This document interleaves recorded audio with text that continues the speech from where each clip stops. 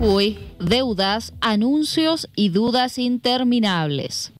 El ministro de Finanzas y Hacienda, Carlos Adir, admitió que la obra social tiene un déficit mensual de entre 20 y 40 millones de pesos y desató el escándalo.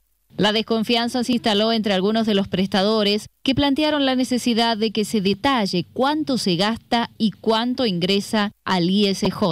Tenemos este reconocimiento del ministro de Hacienda, que es el que en definitiva decide si nos paga o no nos paga, de que es inviable el Instituto del Seguro Social, la verdad, una preocupación terrible. Y más preocupación cuando vemos que de los portales desapareció esta nota que se le hizo al ministro, como diciendo, epa, ¿qué pasó? O sea, hay un reconocimiento con el cual decimos, bueno, hay un reconocimiento, nos sentemos a hablar qué vamos a hacer, pero después desaparece de los portales, la verdad que es preocupante, muy preocupante. La obra social más importante de la provincia puede desfinanciarse. ¿No es suficiente eh, el descuento que le hacen a todos los trabajadores para poder solventarla? En principio lo que nosotros pensamos es que sí, que es suficiente. Ahora, nunca supimos los gastos, sabemos que hay, tiene gastos, cuestiones oncológicas, sería bueno también que se expongan esos números. A pesar de los acuerdos de pago logrados con los acreedores, la situación para afiliados y prestadores está lejos de normalizarse.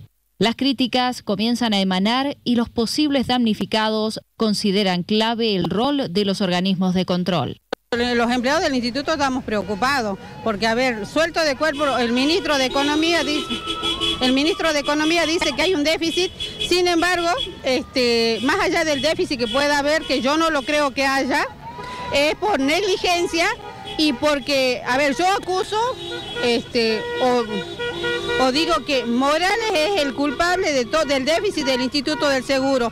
Mientras tanto, desde el organismo intentan explicar las palabras vertidas por el ministro de Finanzas y Hacienda de la provincia, pero las versiones cruzadas ya comenzaron a hacer ruido y el temor de los beneficiarios también. Diseñan políticas de, trabajo que no condicen con el interés de los trabajadores.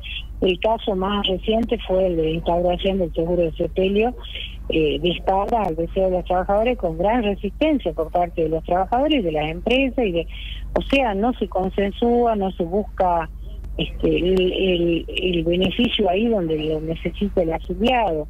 La verdad que si los recursos que debieran ir a la obra social fueran de manera íntegra y que eh, además el Estado provincial recomponga los salarios, estaría en condiciones porque los recursos tendrían que alcanzar a cubrir, eh, porque los, los convenios y los presupuestos financieros se hacen de acuerdo a los recursos que cuenta la obra social. ¿Por qué la obra social con mayor recaudación de la provincia se ha convertido en una caja deficitaria? ¿Cómo se llegó al millonario desbalance financiero? Ante este panorama, ¿podrá el instituto hacer frente a los compromisos asumidos en la última negociación?